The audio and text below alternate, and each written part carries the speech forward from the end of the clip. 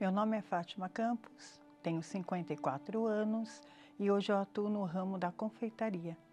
Meu primeiro contato referente a fake news é que eu ouvia falar muito mal da igreja, muitos pontos negativos, através de famílias, amigos, conhecidos, sempre falavam que os pastores eram ladrões, que o bispo Macedo era ladrão, que as pessoas iam lá para poder buscar ajuda.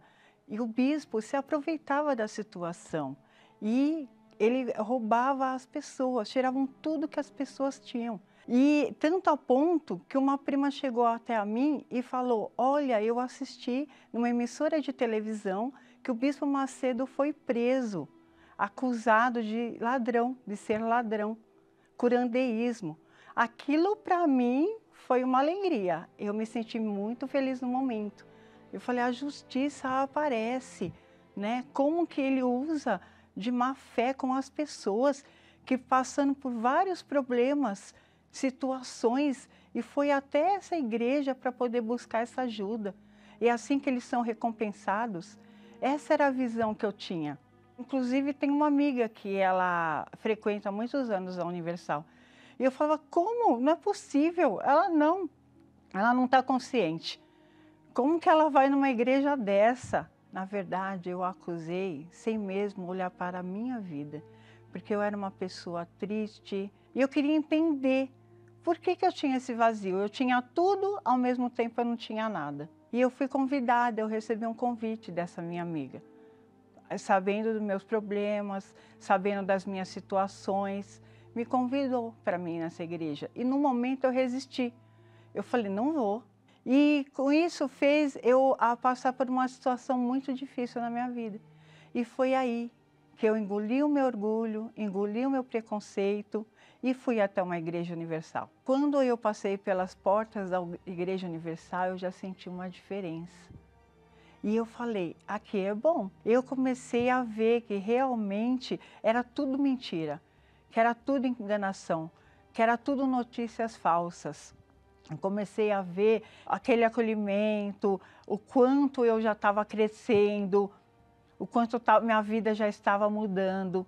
E eu quis isso para mim, porque me fez bem. Eu é, me batizei nas águas. No segundo domingo, indo para a igreja, eu me decidi. Eu falei, Senhor, eu estou aqui para fazer a tua vontade. É essa vontade que o Senhor quer na minha vida? Então, eis-me aqui. E aí eu comecei a busca do Espírito Santo. E numa busca, eu fui batizada com o Espírito Santo.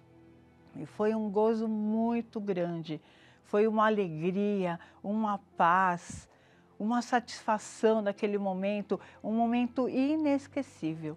Jamais eu posso esquecer desse momento. Eu vi que eu mesmo já estava começando a mudar, que coisas que eu fazia no passado eu já não estava fazendo mais, fui liberta. Começou nesse momento passar um filme na minha cabeça de tudo aquilo que eu era que eu fazia e que naquele dia eu tinha sido nascido de novo, tinha sido uma nova mulher. Hoje eu sou uma pessoa é, muito paciente, eu sou uma pessoa que gosto muito de ajudar as pessoas, de levar a fé, de levar a palavra. Hoje eu sou uma pessoa transformada. Hoje eu sou uma pessoa que tenho paz, eu sou uma pessoa feliz. O Espírito Santo é tudo na minha vida. É Ele que me dá a direção em tudo. Eu coloco Ele em primeiro lugar em tudo que eu vou fazer.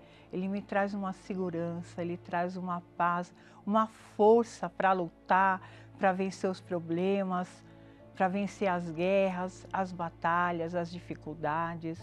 Ele é tudo na minha vida.